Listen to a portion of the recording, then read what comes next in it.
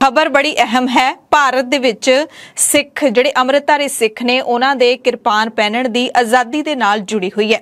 ਦਰਅਸਲ, ਇਸੇ ਮਹੀਨੇ, ਮਾਰਚ ਮਹੀਨੇ ਦੇ ਵਿੱਚ ਭਾਰਤ ਸਰਕਾਰ ਨੇ ਇੱਕ ਅਜਿਹਾ ਨੋਟੀਫਿਕੇਸ਼ਨ ਕੱਢ ਦਿੱਤਾ, ਜਿਸ ਦੇ ਨਾਲ ਸਿੱਖਾਂ ਦੇ ਵਿੱਚ ਭਾਰੀ ਨਿਰਾਸ਼ਾ ਜਿਹੜੀ ਹੈ, ਭਾਰੀ ਰੋਸ ਪਾਇਆ ਜਾ ਰਿਹਾ ਹੈ। 4 ਮਾਰਚ ਨੂੰ ਇੱਕ ਨੋਟੀਫਿਕੇਸ਼ਨ ਕੱਢਿਆ ਜਾਂਦਾ ਹੈ, ਨਵਾਂ ਹੁਕਮ ਕੱਢਿਆ ਜਾਂਦਾ ਹੈ ਕਿ ਭਾਰਤ ਦੇ ਜਿੰਨੇ ਵੀ ਡੋਮੈਸਟਿਕ 에ਅਰਪੋਰਟ ਹੈਗੇ ਨੇ, ਆਪਾਂ ਕਹਿ ਸਕਦੇ ਹਾਂ ਕਿ ਘਰੇਲੂ ਹਵਾਈ ਅੱਡੇ ਨੇ, ਉਹਨਾਂ ਤੇ ਕੰਮ ਕਰਨ ਵਾਲੇ ਜਿਹੜੇ ਕਰਮਚਾਰੀ ਨੇ, ਜਿਹੜੇ ਮੁਲਾਜ਼ਮ ਨੇ EMPLOYE ਨੇ, ਉਹ ਕਿਰਪਾਨ ਨਹੀਂ ਪਹਿਨ ਸਕਦੇ। ਚਾਹੇ ਉਹ ਫਲਾਈਟਾਂ ਦੇ ਵਿੱਚ ਕੰਮ ਕਰਨ ਵਾਲੇ ਮੁਲਾਜ਼ਮ ਹੋਣ ਜਾਂ ਫਿਰ ਹਵਾਈ ਅੱਡਿਆਂ ਦੇ ਉੱਤੇ ਕੰਮ ਕਰਨ ਵਾਲੇ ਮੁਲਾਜ਼ਮ ਹੋਣ।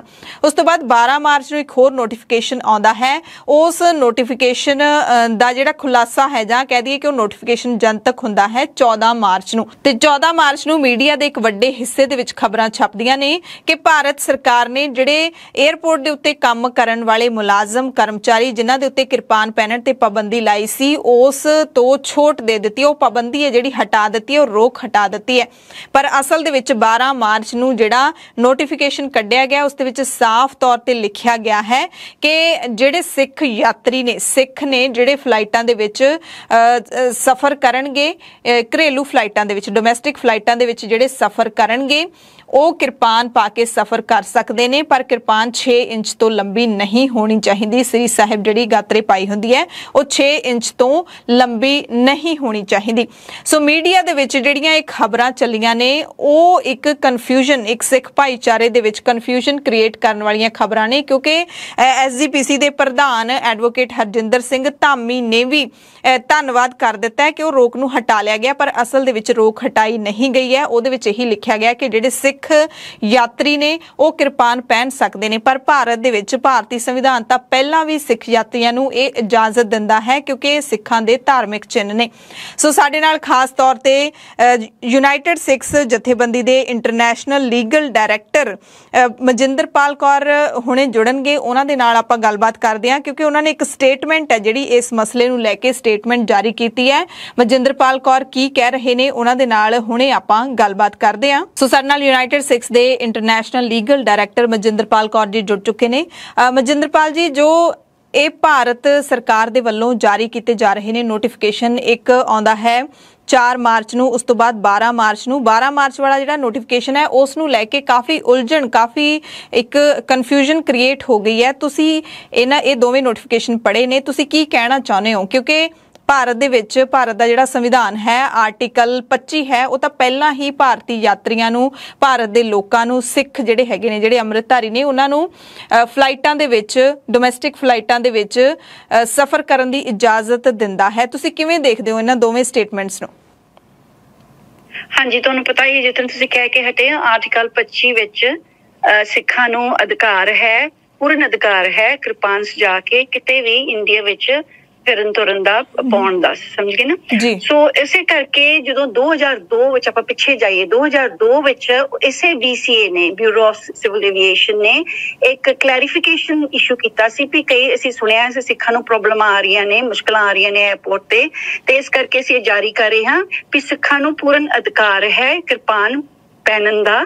ਫਲਾਈਟ ਤੇ ਡੋਮੈਸਟਿਕ ਫਲਾਈਟਸ ਤੇ ਫਿਰ ਆਓ ਆਪਾਂ 2000 ਅਹ, ਹੁਣ 2022 ਬਾਈ, ਵਿੱਚ ਹਾਂਜੀ। 4 ਮਾਰਚ ਨੂੰ 4 ਮਾਰਚ ਨੂੰ ਉਸੇ BCA ਨੇ ਇੱਕ ਕੋਡ ਜਿਹਨੂੰ ਕਹਿੰਦਾ 002 ਆਫ 2022 ਦਾ ਕੋਡ ਉਹਨਾਂ ਨੇ ਕੱਢਿਆ ਜਿਹਦੇ ਆਰਟੀਕਲ ਕਲੌਜ਼ ਨੰਬਰ 20 ਵਿੱਚ ਸੈਕਸ਼ਨ 2 A and B ਵਿੱਚ ਇਸ ਤਰ੍ਹਾਂ ਲਿਖਿਆ ਸੀ ਸੈਕਸ਼ਨ A ਚ ਲਿਖਿਆ ਸੀ ਵੀ ਸਿਰਫ ਯਾਤਰੀਆਂ ਨੂੰ ਅਧਿਕਾਰ ਹੈ ਕਿਰਪਾਨ ਪਹਿਨਣ ਦਾ ਤੇ ਦੱਸਿਆ ਵੀ ਕਿੰਨੇ inch kirpan and so on ਜੀ, ਜੀ, ਬਿਲਕੁਲ। ਦੂਸਰੇ। ਪੈਰਾਗ੍ਰਾਫ ਵਿੱਚ ਕਿਹਾ ਪਰ ਜਿਹੜੇ ਮੁਲਾਜ਼ਮ ਨੇ ਉਹਨਾਂ ਨੂੰ ਨਹੀਂ ਹੈ ਅਧਿਕਾਰ ਮਤਲਬ। ਸਪਸ਼ਟ ਲਿਖਿਆ ਵੀ ਮੁਲਾਜ਼ਮਾਂ ਨੂੰ ਨਹੀਂ ਇਹ ਇਹ ਅਧਿਕਾਰ। ਇਸ ਕਰਕੇ ਬਹੁਤ ਸਾਰੀਆਂ ਸੰਸਥਾਵਾਂ ਨੇ ਐਸਜੀਪੀਸੀ ਨੇ ਸ਼ਾਇਦ ਮੁੱਖ ਆਪਣੇ ਜਿਹੜੇ ਹਿਤ ਗ੍ਰੰਥੀ ਸਾਹਿਬ ਨੇ ਉਹਨਾਂ ਨੇ ਵੀ ਤੇ ਯੂਨਾਈਟਿਡ ਸਿਕਸ ਨੇ ਵੀ ਇਸ ਬਾਰੇ ਟਿੱਪਣੀ ਕੀਤੀ ਸੀ ਕਿ ਇਹ ਸੰਵਿਧਾਨ ਦੇ ਉਲਟ ਹੈ ਤੇ ਇਹ ਕੀ ਹੋਇਆ ਕਿ ਜਿਹੜੇ ਯਾਤਰੀ ਹੈ ਜਿਹੜੇ ਸਿਰਫ ਟਿਕਟ ਵਿਖਾ ਕੇ ਆਪਣਾ ਜਹਾਜ਼ ਫੜਦੇ ਨੇ। ਉਹਨਾਂ ਨੂੰ ਤੁਸੀਂ ਇਹ ਹੱਕ ਸਮਝਿਆ ਹੈ ਪਰ ਤੁਸੀਂ ਜਿਹੜੇ ਮੁਲਾਜ਼ਮ ਨੇ ਜਿਨ੍ਹਾਂ ਦੀ ਸਿਕਿਉਰਿਟੀ ਚੈੱਕ ਕਿੰਨੀ ਹੁੰਦੀ ਹੁੰਦੀ ਹੈ ਵੀ ਇਹ ਸੱਚੀ ਮੁੱਚੀ ਅਮਰਤਾਰੀ ਹੈ ਜਾਂ ਜੋ ਵੀ ਹੈ ਜੀ? ਜੀ, ਜੀ। ਸੋ ਉਹ ਉਸ ਉਹਨਾਂ ਨੂੰ ਤੁਸੀਂ ਹੱਕ ਲੈ ਲਿਆ ਸੋ ਇਹ ਜਿਹਨੂੰ ਕਹਿੰਦਾ ਅੰਗਰੇਜ਼ੀ ਚ ਅਨੋਮਲੀ ਮਤਲਬ ਵੀ ਇਹ ਬਹੁਤ ਉਲਟ ਗੱਲ ਹੈ। ਜੀ ਤੇ ਮਜਿੰਦਰਪਾਲ ਕੌਰ 12 ਜੀ ਜਿਹੜਾ ਤਰੀਕ- ਜਿਹੜਾ 12 ਨੂੰ ਜਿਹੜਾ ਕੱਢਿਆ ਹੈ ਉਹ ਅੱਜ ਜਾ ਕੇ ਜਨਤਕ ਹੁੰਦਾ ਤੇ ਉਹਦੇ ਵਿੱਚ ਵੀ ਇਹੀ ਤਕਰੀਬਨ ਲਿਖਿਆ ਗਿਆ ਕਿ ਸਿਰਫ ਯਾਤਰੀਆਂ ਨੂੰ ਅਧਿਕਾਰ ਹੈ। ਇਹ ਦੁਬਾਰਾ ਨੋਟੀਫਿਕੇਸ਼ਨ। ਕੱਢਣਾ ਇਹ ਇੱਕ ਕਿਸਮ ਦੀ ਉਲਝਣ ਪੈਦਾ ਕਰਨ ਵਾਲਾ ਹੈ। ਕੀ ਲੱਗਦਾ ਤੁਹਾਨੂੰ ਅਜਿਹਾ ਕਿਉਂ ਕੀਤਾ ਗਿਆ ਹੈ? ਕਿਉਂ ਕਰਮਚਾਰੀਆਂ। ਨੂੰ ਜਾਂ ਮੁਲਾਜ਼ਮਾਂ ਨੂੰ ਨਹੀਂ ਇਜਾਜ਼ਤ ਦਿੱਤੀ ਜਾ ਰਹੀ ਤੇ ਤੁਸੀਂ ਇਹ ਤੇ ਕੀ ਕਰਨ ਜਾ ਰਹੇ ਹੋ ਜਾਂ ਸਿੱਖ ਕੌਮ ਨੂੰ ਹੁਣ ਕੀ ਕਰਨਾ ਚਾਹੀਦਾ ਹੈ ਇਹ ਹੱਕ ਲੈਣ ਦੇ ਲਈ? ਓਕੇ ਇਹਨੂੰ ਬਰੀਕੀ ਵਿੱਚ ਵੇਖਣਾ ਚਾਹੀਦਾ ਕਿਉਂਕਿ ਜਿਹੜਾ 12 ਤਰੀਕ ਦਾ ਇਹਨਾਂ ਨੇ ਹੁਣ ਜਾਰੀ ਕੀਤਾ ਹੈ ਉਹਦੇ ਵਿੱਚ ਜਿਹੜਾ 4 ਤਰੀਕ ਜਾਰੀ ਕੀਤਾ ਸੀ ਉੱਥੇ ਕਿਹਾ ਸੀ ਸਿਰਫ ਯਾਤਰੀਆਂ ਨੂੰ। ਹੁਣ ਜਿਹੜਾ ਇਹਨਾਂ ਨੇ ਜਾਰੀ ਕੀਤਾ ਇਹਨਾਂ ਨੇ ਸਿਰਫ ਲਫ਼ਜ਼ ਕੱਢ ਦਿੱਤਾ। ਤੇ ਕਿਹਾ ਯਾਤਰੀਆਂ ਨੂੰ ਇਹ ਅਧਿਕਾਰ ਹੈ ਪਰ ਜੋ ਅੱਗੇ ਪਾਬੰਦੀ ਲਾਈ ਸੀ ਕੀ, ਮੁਲਾਜ਼ਮਾਂ ਤੇ? ਉਹ ਪਾਬੰਦੀ ਦੀ ਜਿਹੜੀ ਤੁਕ ਸੀ ਉਹਨਾਂ ਨੇ ਕੱਢ ਦਿੱਤੀ ਜ਼ਿਕਰ ਹੀ ਨਹੀਂ ਕੀਤਾ ਉਹਦਾ, ਪੂਰਾ। ਜਦੋਂ ਤੁਸੀਂ ਕਿਹਾ ਉਲਝਾ ਦਿੱਤਾ ਸਾਰਿਆਂ ਨੂੰ। ਕਿ ਜੇ ਤੁਸੀਂ ਪਹਿਲਾਂ ਅਧਿਕਾਰ ਲੈ ਲਿਆ ਸੀ ਜਿਹਦਾ। ਤੁਹਾਡਾ ਹੱਕ ਨਹੀਂ ਹੈ ਲੈਣ ਦਾ ਕਿਉਂਕਿ ਸੰਵਿਧਾਨ ਅਨੁਸਾਰ ਤੁਸੀਂ ਨਹੀਂ ਹੱਕ ਲੈ ਸਕਦੇ ਇਸ ਦਾ। ਪਰ ਤੁਸੀਂ ਉਸ ਨੂੰ ਸਮਝ ਲਿਆ ਗਲਤੀ। ਤੇ ਉਸ ਨੂੰ ਤੁਸੀਂ ਠੀਕ ਕਰਨ ਵੇਲੇ ਤੁਸੀਂ ਕਿਉਂ ਨਾ ਜਦੋਂ ਤੁਸੀਂ ਕਿਹਾ ਸੀ ਯਾਤਰੀਆਂ ਅਤੇ ਮੁਲਾਜ਼ਮਾਂ ਦਾ ਅਧਿਕਾਰ ਹੈ। ਤੁਸੀਂ ਅਤੇ ਮੁਲਾਜ਼ਮਾਂ ਦੀ ਗੱਲ ਕਿਉਂ ਨਹੀਂ ਕੀਤੀ। ਤੋਂ ਅਸੀਂ ਕਹਿ ਨਹੀਂ ਸਕਦੇ ਵੀ ਹੱਕ ਨਹੀਂ ਹੈ ਕਿਉਂਕਿ ਸੰਵਿਧਾਨ ਹੇਠਾਂ ਹੱਕ ਹੈ। ਪਰ ਕਿਉਂ ਜਿਹੜਾ ਬਿਊਰੋ ਆਫ ਸਿਵਲ ਐਵੀਏਸ਼ਨ ਜਿਹੜਾ ਅ, ਉਹ ਅਜਿਹਾ ਕਿ ਤੇ ਤੇ ਮਜਿੰਦਰਪਾਲ ਕੌਰ ਜੀ ਤੇ ਦੇ ਹੁਣ ਤੁਸੀਂ। ਤੁਸੀਂ ਕੀ ਇਹ ਤੇ ਕੋਈ ਯੂਨਾਈਟਿਡ ਸਿੱਖ ਜਥੇਬੰਦੀ ਦੇ ਵੱਲੋਂ ਤੁਸੀਂ ਕੁਝ ਕੋਈ ਕਦਮ ਚੁੱਕਣ ਜਾ ਰਹੇ ਹੋ ਜਾਂ ਫਿਰ ਤੁਸੀਂ ਸਿੱਖ ਕੌਮ ਨੂੰ ਕੋਈ ਮੈਸੇਜ ਦੇਣਾ ਚਾਹੁੰਦੇ ਹੋ ਕਿ ਕਰਨਾ ਕੀ ਚਾਹੀਦਾ ਹੁਣ ਮੈਸੇਜ ਇਹੀ ਹੈ ਕਿ ਇਹ ਸਾਨੂੰ ਇੱਕ ਸ਼ੀਸ਼ੇ ਵਾਂਗੂ ਵਿਖਾ ਰਿਹਾ ਹੈ ਕਿ ਜਿਹੜੇ ਹੱਕ ਨੇ ਕਨਸਟੀਟਿਊਸ਼ਨ ਦੇ ਵਿੱਚ ਉਹ ਹੱਕਾਂ ਬਾਰੇ ਜਿਹੜੇ ਵੱਡੇ ਵੱਡੇ ਅਹੁਦਿਆਂ ਤੇ ਬੀਸੀਏ ਦੇ ਡਾਇਰੈਕਟਰ ਜਨਰਲ ਨੇ ਇਹ ਪੜਾ ਜਾਰੀ ਕੀਤਾ ਹੈ ਕਿ ਉਸ ਨੂੰ ਪਤਾ ਨਹੀਂ ਹੈ ਕਿ ਪੂਰਨ ਅਧਿਕਾਰ ਹੈ ਕਿਰਪਾਨ ਦਾ ਹੈ ਨਾ ਜੀ। ਤੇ ਉਹਨੂੰ ਪਤਾ ਹੈ ਕਿਉਂਕਿ ਉਹਨਾਂ ਨੇ ਉਸ ਨੂੰ ਸੋਧਿਆ ਹੈ। ਜੋ 4 ਤਰੀਕ ਦਾ ਜਿਹੜਾ ਐਲਾਨ ਸੀ ਉਸ ਨੂੰ ਉਹਨਾਂ ਨੇ ਅਮੈਂਡ ਕੀਤਾ ਹੈ। ਅਮੈਂਡ ਕਰਨ ਵੇਲੇ ਵੀ ਇਹਨਾਂ ਨੇ ਗਲਤੀ ਕਰਤੀ ਬੱਚੇ ਨੂੰ ਨਹੀਂ ਸਮਝੇ ਤੇ ਇਹ ਗਲਤੀਆਂ ਹੋ ਰਹੀਆਂ ਹੈ। ਇੱਥੇ ਇੱਥੇ ਹੀ ਹੈ? ਸੋ ਇਸ ਕਰਕੇ ਅਸੀਂ ਚਿੱਠੀ ਲਿਖ ਰਹੇ ਹਾਂ। ਜੀ। ਡੀਸੀਏ ਨੂੰ ਵੀ ਇਹ ਤੁਸੀਂ ਅਸੀਂ ਸਮਝ ਲਈ ਕਿ ਤੁਹਾਡੀ ਗਲਤੀ ਹੈ ਪਰ ਦੋ ਵਾਰੀ ਗਲਤੀ ਕਰਨੀ ਇੱਕ ਹਫ਼ਤੇ ਦੇ ਵਿੱਚ ਵਿੱਚ ਇਹ ਬੇਸਮਝੀ ਹੈ ਕਿ ਇਹ ਜਾਣ ਕਰ ਜਾਣ ਕੇ ਇਹ ਹੋ ਰਿਹਾ ਹੈ। ਇਹ ਵੱਖਰੀ ਗੱਲ ਹੈ। ਪਰ ਸਿੱਖਾਂ ਨੂੰ ਜਿੱਥੇ ਵੀ ਤੁਸੀਂ ਸਿੱਖ ਹੋ ਤੁਸੀਂ ਜੇ ਮੁਲਾਜ਼ਮ ਹੈ 에어ਪੋਰਟ ਦੇ ਇਹ ਗੱਲ ਯਾਦ ਰੱਖਣੀ। 2010 ਵਿੱਚ ਉਸੇ ਤਰ੍ਹਾਂ ਗੁਰੂ ਰਾਮਦਾਸ ਜੀ ਇੰਟਰਨੈਸ਼ਨਲ 에어ਪੋਰਟ ਤੇ ਇੱਕ ਨਿਰਮਲ ਸਿੰਘ ਕਰਕੇ ਮੁਲਾਜ਼ਮ ਸੀ 에어ਪੋਰਟ ਦਾ ਉਹਨਾਂ ਤੇ ਪਾਬੰਦੀ ਲੱਗੀ ਸੀ।